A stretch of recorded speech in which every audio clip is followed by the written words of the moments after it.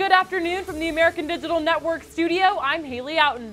Let's take a look at tonight's key conference matchup between Memphis and UConn, who currently sit in fourth and fifth place respectively in the American standings, which would mean that these two teams would meet again in the conference tournament quarterfinal should their seeds hold.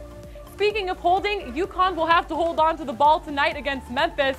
The Tigers turn teams over on over 20% of possessions. The Huskies' backcourt has come on strong as Jalen Adams tallied his fifth double-double of the season last week, while Rodney Purvis has scored 20-plus points in back-to-back games.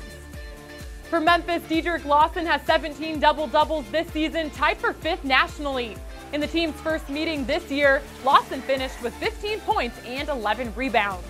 However, the difference in this game could be Markel Crawford. The Tigers are 15 and 5 when he scores 10 or more points. Crawford's 19 against UConn led all scorers back on January 5th. Tip-off is set for 9 p.m. Eastern, 8 Central on ESPN2. Check back right here following the game for highlights on the American Digital Network.